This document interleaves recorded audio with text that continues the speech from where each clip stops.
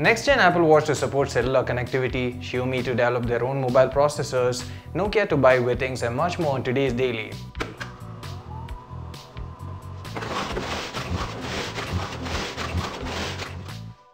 This is day 117 of 2016 and you're watching FoneArena Daily, your everyday fix of technology news. A new report suggests that Apple is apparently working on a new Apple Watch which will feature a built-in cellular connectivity. The smartwatch will also have a faster processor that would enable a faster loading time for the apps. Apple had just recently cut the price of the smartwatch to US dollar 299, introduced new bands and also received a software update that helped improve its performance and added additional functions as well. Apple has scheduled WWDC for June 13th and we could expect the next generation Apple Watch to be announced at the same event as well. Xiaomi is apparently working hard to create its own subdivision of processors for smartphones, tablets and television sets. The new line of processors will apparently be called Rifle and will go head to head with processors from Samsung, Qualcomm etc. The APU will be based on ARM standardized licensed technology. The chipset will apparently be used in budget smartphones, tablets and television sets in order to reduce the dependency on other brands and also to reduce costs and thereby making the smartphones or devices cheaper for the consumers as well.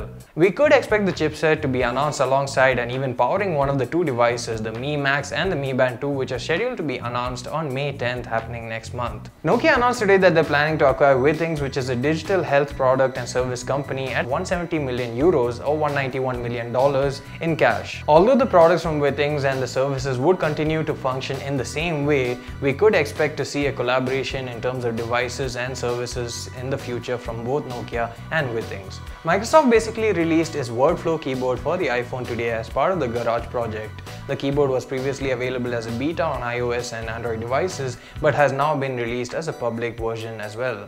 The keyboard will basically allow users to type in an arc-like pattern using their left or right hand in a more ergonomic way and also allows for swiping as well as typing.